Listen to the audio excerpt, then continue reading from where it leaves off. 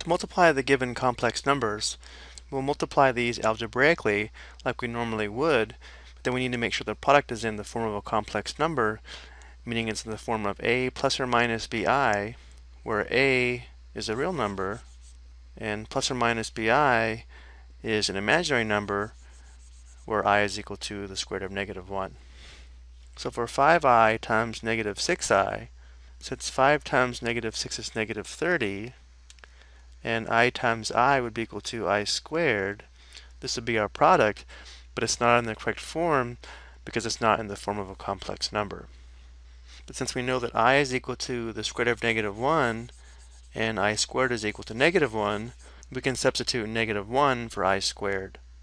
So we'd have negative 30 times negative 1, which is equal to positive 30.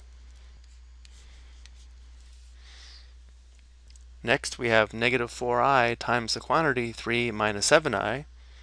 So here we'll be distributing 4i.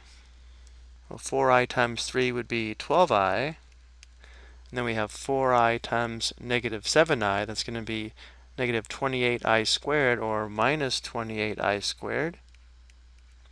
Again, this is our product, but it's not in the correct form, or the form of a complex number. We can't have i squared in our final product, but because i squared is equal to negative 1, we'll perform a substitution for i squared. We would have 12i minus 28 times negative 1. Notice how this would become plus 28.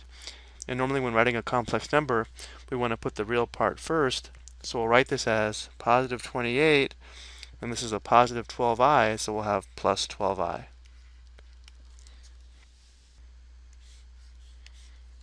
Next we have 3i cubed, or 3i raised to the third power. So we can apply our rules for exponents, or we can just recognize this as 3i times 3i times 3i. And since 3 times 3 times 3 is equal to 27, and i times i times i is equal to i cubed, this would be our product. But again, it's not in the correct form because it's not in the form of a complex number. But we do know that i squared is equal to negative 1. So to simplify this, we could write this as 27 times i squared times i. This is still i to the third, but now we can substitute negative 1 for i squared.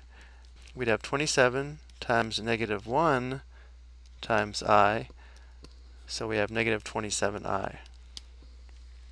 Again, for these products, we can't have i raised to a power higher than 1. And we can also verify these products on the graphing calculator. Let's make sure we're in complex mode, so we'll press the mode key and highlight A plus BI down here. So once it's highlighted, we press enter. Go back to the home screen by pressing second mode, and then we just type in our products. So we have 5i. The i is second decimal point times negative 6i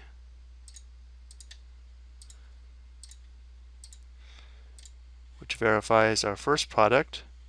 Next we have 4i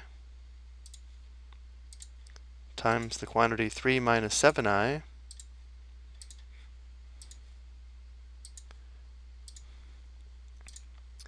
This verifies our second product. And then for our third example, we have 3i raised to the third Here's the exponent key, and this is raised to the third power, which verifies our third product. Okay, I hope you found this helpful.